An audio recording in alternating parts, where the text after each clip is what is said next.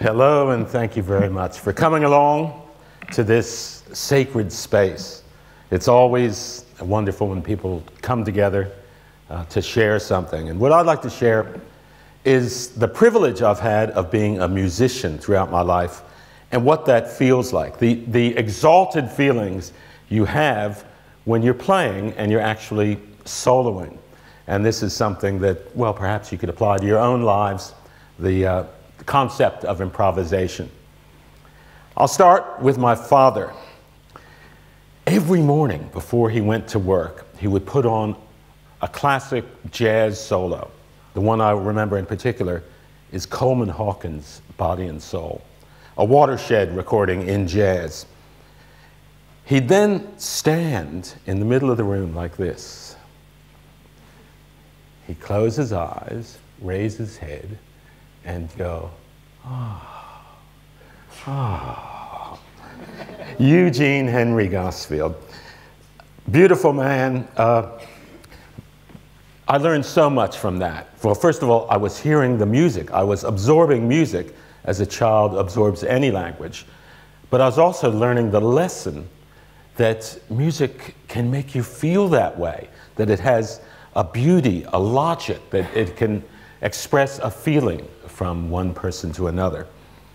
Uh, my mother also took me to every variety of, of music John Cage, Son House, John Coltrane. I saw all these people when I was young, and I think it's very important to see music live, a transmission actually happens. I got into the blues. Uh, that was my first musical passion, and I went to Chicago and I became a chauffeur for a man named Big Joe Williams. Big Joe Williams, he wrote Baby Please Don't Go. He was one of the last itinerant Delta bluesmen, and that was my job, was to drive him to like fried chicken and wine parties. uh, and he was a secretive man. He played a nine string guitar because he didn't want anyone else to steal his music, his licks. But at that time, I was playing guitar, but I never thought to ask this incredible link to the past, how do you do it? Or to pick up his guitar when he was flirting with some lady at one of these rent parties. Because at that time, I thought the process of learning music was a kind of magical thing. You just imbibed it, and to copy someone else was, was kind of cheating. It was cheating, cheating on your own individuality. Well, I went to university briefly, but that all ended when I co founded a band called Asleep at the Wheel, and we squatted on a property in West Virginia and started playing music for the, the local hillbillies. Hippies and hillbillies, interesting story to be continued some other time. But I went to get a lesson from this man named the West Virginia Creeper. Everyone in my life has names like this.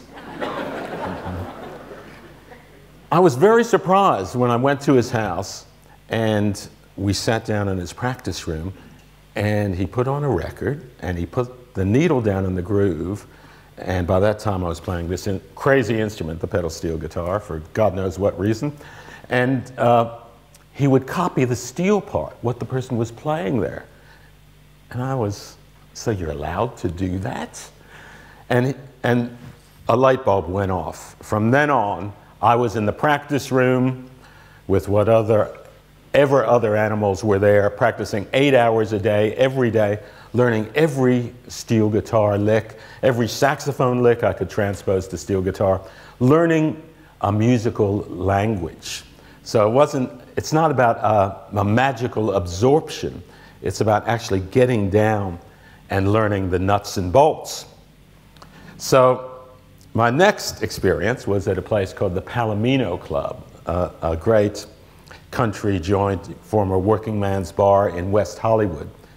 We were playing with one of my favorite musicians, a man named Johnny Gimble. And Johnny, he just plays these beautiful solos. Your heart just melts. We're playing two sets. The second set, we play this instrumental called Jimmy's Jump.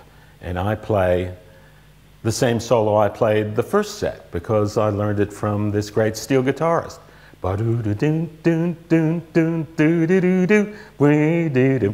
Johnny just looks at me and he goes, why do you want to play the same thing twice? Life is short. There are so many different pathways that, that you can go down and explore things. And from that moment on, I never played the same solo twice, for good or bad, you know? Always coming from a different, different entry point. When you get into a solo, the idea is not to think. The idea is to surrender yourself to the musical flow, like what happens during any peak experience in life. Uh, the second worst thing you can do in a solo is to go, oh man, I'm really not cutting it. I got to get in and practice. The worst thing you can do is to go, hey, it's really happening here. hey, I'm pretty good. Because that's when you lose it. You have to be out of the conscious mind. People talk about being a vessel of song, but it's more complicated than that. You're also playing with other people. You have conventions, you know, you're probably following a series of chords, so it's improvised, but it's not totally free. You have these conventions that you follow in, in order for it, for it to happen. The, the other thing, you can learn from the masters and become a very great, well rounded player, but at some point, it's great to find out what you do well. And often, this takes a musical imagination. You've got to imagine a sound that's never been heard before and persist in it until, until you've brought it to the world. You've also got to respect the things that come easily to you and play those. Miles Davis said something very profound to the musicians in his band. He said, Play what you hear, not what you know. And what he meant was fine, go, it's necessary to practice, to learn the basics, to know how to play in time. But when you're on the bandstand, play what you hear. It's music, it's sound, it's not theoretical. You leave all the theory behind. It's like regained innocence. You regain your childhood. And you're, you're in that state of, well, sometimes, sometimes it's blissful when, when you follow that. As an audience, or as anyone listening to music, there's always the temptation to classify. We're classifying animals. We put things in categories. That's blues. Uh, that's classical. That's country. Oh, good technique. Uh, that's a sad song. Oh, I heard that when I broke up with my girlfriend. What I'd like to do now, as I welcome Dave Brewer to the stage, uh, please give him a hand. Yeah. Yeah.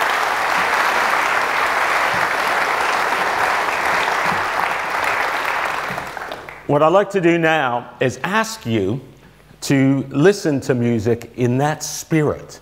You know, you may have thoughts about, oh, that's that or that's that. But what I'm trying to express is soul. Soul is the, the hidden ingredient. There are, there are a couple things. I want to tell you a story. I'll tell that as any art form tells a story with light and shade, color, uh, balance, all the different elements, shape.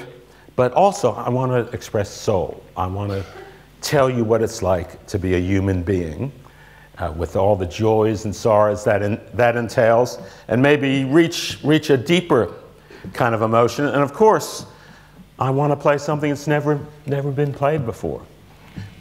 So, but we've got a little bit of a structure. This is a song of mine called In the Stillness of the Night.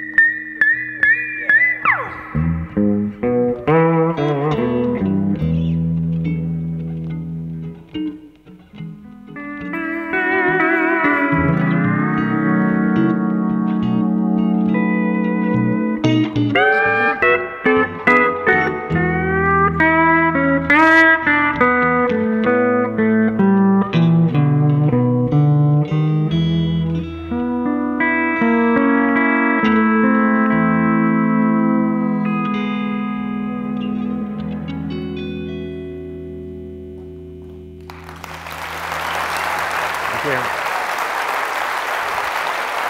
Good day.